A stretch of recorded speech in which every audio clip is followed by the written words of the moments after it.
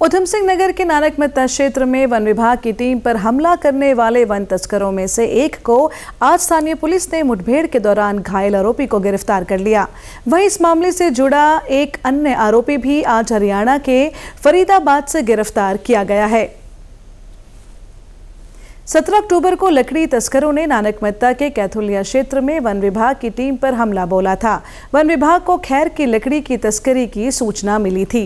तस्करों को पकड़ने गई वन विभाग की टीम पर हमला हुआ, जिसमें एक वनकर्मी घायल हुआ था। ज़िले के वरिष्ठ पुलिस अधीक्षक मणिकांत मिश्र ने कहा कि इस मामले के तीन नामजद अभियुक्तों को पहले ही गिरफ़्तार कर लिया गया था, जबकि दो अभियुक्तों की गिरफ्तारी आज हुई है। पंद्रह और सोलह की रात को इसी माह में कैथुलिया गाँव में वन कर्मियों के द्वारा एक रेड मारी गई।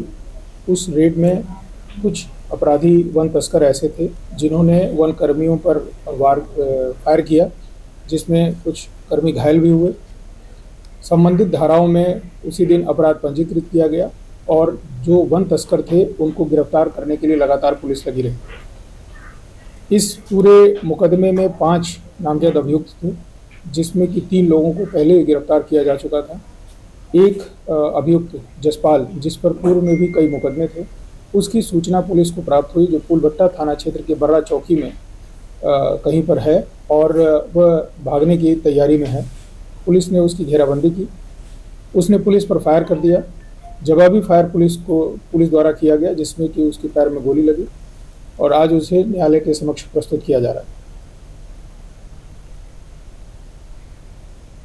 तराई क्षेत्र में पिछले कुछ समय में वन तस्करों की सक्रियता बढ़ी है और वन विभाग के कर्मचारियों पर हमले की घटनाएँ भी एक के बाद एक लगातार सामने आई हैं। तो चलिए इस मुद्दे पर बात करते हैं उधम सिंह नगर के हमारे संवाददाता राजीव शंकर शुक्ला से।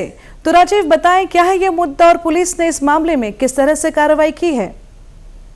राजीव। कंचन जी कंचन जी मैं आपको बताना चाहूँगा कि इससे पहले जो है ये घटना जो है एक बार और भी घटित हुई थी। पिछले सितंबर छह तारीख को, और उसमें भी जो हमारे वन कर्मियों और वन तस्करों के बीच मुठभेड़ हुई थी, जिसमें एक रेंजर सहित तीन लोग घायल हुए थे।